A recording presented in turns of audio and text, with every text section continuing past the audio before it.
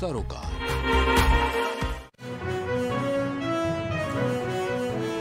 दिल्ली में आज बीजेपी संसदीय दल की होगी अहम बैठक।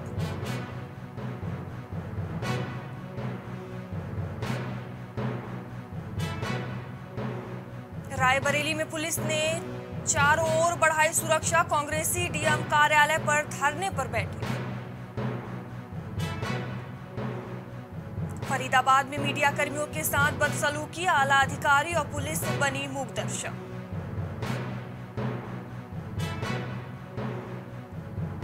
दिल्ली के चिड़ियाघर की सबसे उम्र दराज सफ़ेद बाघिन का हुआ निधन।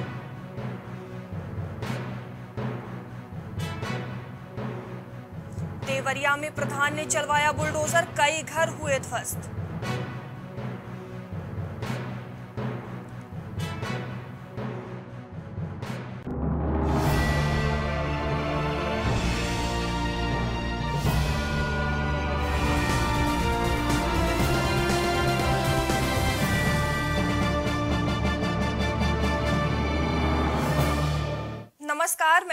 श्रीवास्तव, आप देख रहे हैं प्राइम टीवी, वक्त हो गया है उत्तर प्रदेश की बड़ी खबरों का। रायबरेली में पुलिस ने कांग्रेस दफ्तर को छावनी में तब्दील कर दिया है। यहाँ कांग्रेस मुख्यालय तिलक भवन को पुलिस ने चारों ओर से बैरिकेड लगा दिया है। दरअसल कांग्रेसी, एलआईसी और राष्ट्रीयकृत बैंकों का पैसा अडानी समूह को अवैध रूप से दिए जाने का आरोप लगाकर डीएम को ज्ञापन देना चाहते हैं।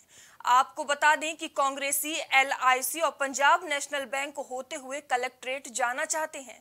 पुलिस ने कानून व्यवस्था का हवाला देकर कांग्रेसियों को दफ्तर के भीतर ही नजरबंद कर दिया है, जिससे कांग्रेसी डीएम कार्यालय पर धरने पर बैठे हैं। हम लोग जो अदानी समूह को भारतीय स्टेट बैंक का पैसा LIC का पैसा जो जो जो पैसा हमारी देश की जनता, जो गरीब जनता है, गाड़ी कमाई का पैसा जमा किया था, वो केंद्र सरकार की गलत नीतियों के कारण कारण? मोदी सरकार की गलत नीतियों के कारण? वो पैसा, जनता का पैसा अडानी समूह को दिया गया है। छत्तीस हज़ार करोड़ रुपए से ज़्यादा एलआईसी का पैसा उनको दिया गया है। सत्ताईस हज़ार करोड़ रुपए से ज़्यादा भारतीय स्टेट बैंक का पैसा दिया गया है। सात हज़ार करोड़ रुपए करीब पंजाब नेशनल बैंक का पैसा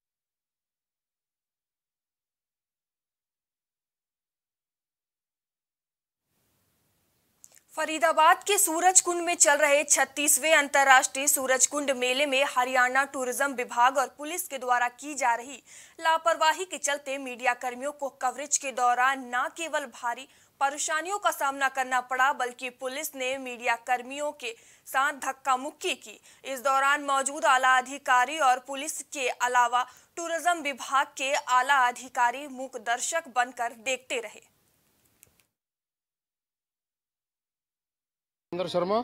शर्मा जी मीडिया से ही है? मीडिया से है मानव अधिकार करण मैगजीन है मेरी और न्यूज़ हरियाणवी चौपाल पर जो जो दो गायिका आई थी प्रांजल दहिया और एक और थी ये रेणु को पवार। व्यवस्था देखने को मिली यहाँ देखो व्यवस्था की अगर हम बात करें तो व्यवस्था तो नाम मात्र की भी नहीं है और जो बाहर के लोग हैं वो मीडिया के जो जगह निर्धारित की गई है उस जगह के अंदर बाहर के लोग और पुलिस के स्टाफ के लोग ज़्यादा भरे पड़े हैं और मीडिया वालों के साथ बहुत ज़्यादा बदसलूकी की गई है। और ये एक बड़ा निंदनीय वो है। यहाँ पूरा प्रशासन बैठा था बैठा था डीसी बैठे थे बकायदा एसीपी डीसी भी बैठे थे। जी बताइए आप नाम बताइए आप। मेरा नाम कृष्ण कौशिक है। धक्का मार दिया था वहाँ पर। पत्रकार पत्रकार से पिछले 20 वर्ष से जुड़े हैं और इतनी बदहाली इतनी बदइंतजामी आज हालत ये रही कि मीडिया कर्मी और लोक संपर्क विभाग के जितने अधिक डीपीआर ऑफ़िस के कर्मचारी हैं वो बाहर और पुलिस वालों का पूरा कब्जा था आज मीडिया उसमें गैलरी में। और अंदर लोग शराब पी के भी पहुँचे हुए थे। आखिरकार जो गेट से एंट्री कैसे मिली उन लोगों को? जो शराब पी के हमें अंदर पता चला शराब पी रखी है उन्होंने और वो लोग अंदर थे। तो मीडिया की आड़ में कोई भी बड़ा हादसा हो सकता था? कि, कितनी बड़ी चूक मानते हैं पुलिस सबसे पहली बात तो ये है जो मीडिया के लिए जो स्थान निर्धारित किया गया है मीडिया में नाइट थी सिंगर थे। कोई भी व्यवस्था ठीक नहीं थी। जब मीडिया के लॉबी में बाहर पब्लिक आ जाती है। क्या वीआईपी में पब्लिक गई क्या? वीआईपी में एरिया में पब्लिक जाती तब तो मानते कि हाँ है। तो क्या पुलिस अगर उनको रोक नहीं सकती पुलिस पब्लिक को नहीं रोक सकती तो पब्लिक का क्या फ़ायदा? है उसका पुलिस का क्या फ़ायदा? तो मीडिया गैलरी में कौन आपको ज़्यादा दिखाई दिए?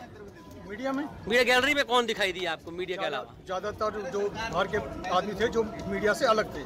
पुलिसकर्मी भी ज़्यादा थे भी थे बाहर और सुरक्षा की इस खबर पर हमारे संवाददाता मनोज हमसे जुड़ेंगे। मनोज फरीदाबाद के सूरज कुंड मेले में मीडिया कर्मियों के साथ बदसलूकी की घटना सामने आई है। क्या कुछ पूरा मामला है?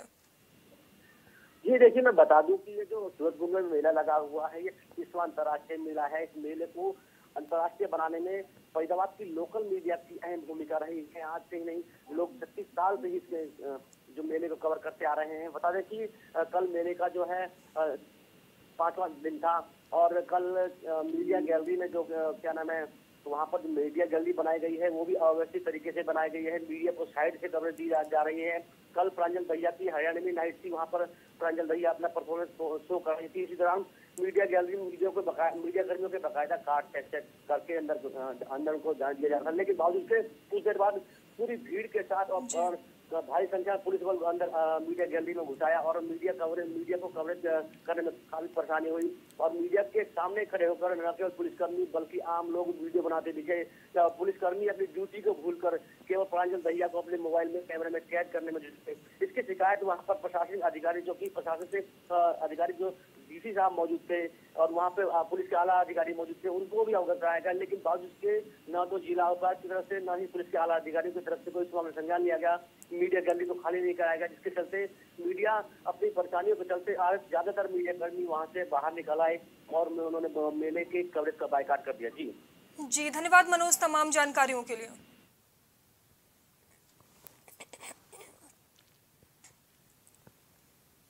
बुलंदशहर में गौकशी की घटनाओं में शामिल मकसूद की लाखों की संपत्ति कुर्क की गई। आपको बता दें कि कार्रवाई गैंगस्टर एक्ट के तहत की गई। पुलिस ने गुलावटी में डीएम के आदेश पर गौकस मकसूद के मकान को कुर्क किया था। अब गैंगस्टर कोर्ट ने डीएम के आदेश को सही मानते हुए मकसूद की प्रॉपर्टी को सरकार के पक्ष में वर्णित कर दिया। ये थाना गुलावटी का एक शातिर गोकश था, जिसके विरुद्ध गैंगस्टर एक्ट पंजीकृत किया गया था और उसी के क्रम में उसकी अवैध अर्जित संपत्ति को जिलाधिकारी महोदय द्वारा कुर्क किया गया था। इस कुर्की आदेश के उपरांत गैंगस्टर कोर्ट में जो हमारा अभियोजन पक्ष है उन्होंने ये माननीय न्यायालय से अपील की थी कि ये जो अवैध अर्जित संपत्ति है इसको सरकार के पक्ष में निर्णित किया जाए। इसी के क्रम में आज एडीजे गैंगस्टर कोर्ट द्वारा यहाँ पे ये सरकार के पक्ष क्या निर्णय हुआ है? इसमें गुलावटी थाना है हमारा उसमें एक मिस्टर मकसूद थे जो गौकसी के अनेक मुकदमों में वांछित थे और उनके विरुद्ध गैंगस्टर एक्ट लागू हुआ था। संपत्ति उनकी जितनी भी थी अपराध के बाद की थी एक मकान था। लगभग नौ लाख अट्ठारह हज़ार रुपये का। उसकी कुर्की के लिए चौदह एक गैंगस्टर अधिनियम के तहत मेरे न्यायालय में आया था। समस्त साक्ष्यों का संकलन करने के बाद, पूरी जाँच पड़ताल कराने के बाद मैं, मैंने ये पाया था कि ये मकान जो है, अपराध करने के बाद जो संपत्ति उसने अर्जित की थी, उससे खरीदा गया था। उसको हमने फिर कुर्क किया था। पूरा प्रकरण न्यायालय में गया, गैंगस्टर न्यायालय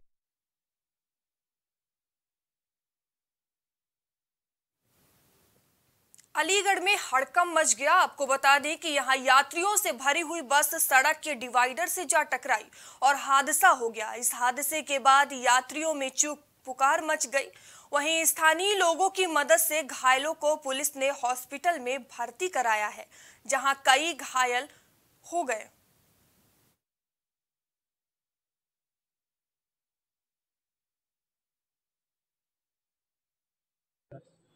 ये जो पेशेंट है आपकी कौन है? मेरी वाइफ है। क्या नाम है इनका? आशा देवी। क्या हुआ है?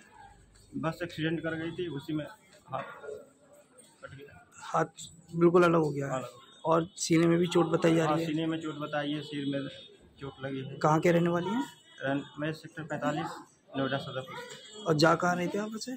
मैं नोएडा से गया था ढाई घाट रामघाट गंगा जी। अच्छा। ढाई घाट राम रामनगर या गंगा जी स्नान करने। जी, अच्छा। के माह के पूर्णिमा के स्नान करने। स्नान करके हम लोग वहाँ से ग्यारह बजे का बस खुली थी बीच में हादसा हुआ। किस टाइम का हादसा है? ये क्या नाम है आपका? मेरा नाम है सुमन तिवारी। क्या? सुमन तिवारी। सुमन तिवारी। हाँ। कहाँ की रहने वाली हैं? हम नोएडा में सर अच्छा अच्छा। तो ये बस एक्सीडेंट जो आपके साथ हुआ है तो आपकी कहाँ कहाँ चोट है? भैया यहाँ खुले में चोट है अंदरोड़ी देखो यहाँ अच्छा, भी अच्छा। लगा है, यहाँ भी लगा है। इसी पे आदमी पे आदमी चढ़े थे बस एकदम पलट गई अच्छा बिल्कुल भगवान सोचते तीन के तो दो का हाथ कट गए। जी जी जी उसके बाद जो है बहुत है तीन चार तो बिल्कुल घायल है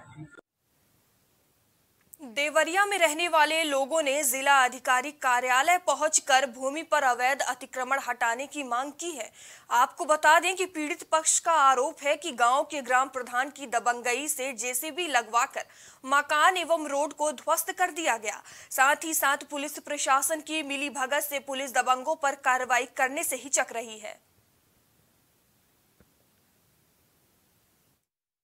हम लोग छः सोलह तारीख की घटना है, जिसमें सात बजे रात को प्रधान अपने पचास लोग अज्ञात सहित लेकर आया था। उसमें इन लोग का दीवार और जेसीबी से लगाकर अपनी पूरी इन लोग की संपत्ति नष्ट कर डाला और टंकी से लेकर चार दीवारी हुआ जिसमें कोर्ट का मुकदमा भी चल रहा है इसमें कोई भी कार्रवाई नहीं हुई। पुलिस थाना इन लोग के प्रति ही मुकदमा दर्ज कर दिया है, जिसमें एक सौ इक्यावन पे लोग चलान भी कराए उन लोग कुछ कोई मुकदमा नहीं है। उन लोग पर भी एक सौ इक्यावन का चलान मुकदमा दर्ज कर दिया गया है और कोई कार्रवाई, कोई सुनवाई नहीं है। ये लोग सारे एसपी साहब के पास गए। एसडीएम साहब एसडीएम साहब बार बार दबाव बना रहे हैं कि तुम अपनी ज़मीन दे दो, जिसमें ज़मीन के नाम पे आगे भी ज़मीन दे चुके हैं और पीछे भी ज़मीन दो गो बच्चे हैं। अब बताइए हमारी ज़मीन लिखना टूट गया। आँखें लिखाएँगे पेट गाल ले सके लिखाए लड़का के मार के सुता देना तो ना दिखता रहे ना तुम्हारे मुँह उधर से बह डाला। हमको सो हम के धर लिया सखबारी में लड़का के मार दिया रहा जाके हमारे लेके लोग हैं? कौन मारा था अदित मारना और के मारा। कौन है? प्रधान है गाँव का। और सब बुढ़न के लेके पैसा दे के किन ले लेवा? काय का तीन मरना तो? ज़मीन के बैनामा ज़मीन ज़मीन है तो बताइए आगे हम आगे दिले ही हैं।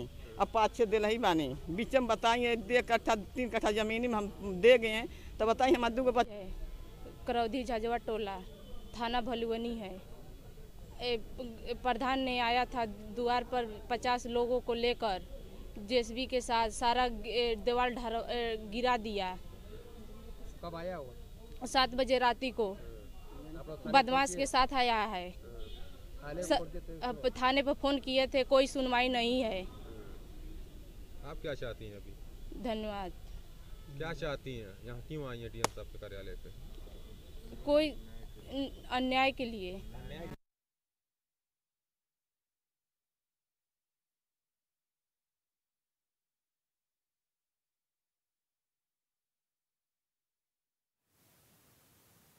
उत्तर प्रदेश की खबरों में इतना ही। देश दुनिया की तमाम खबरों के लिए बने रहिए प्राइम टीवी के साथ। नमस्कार।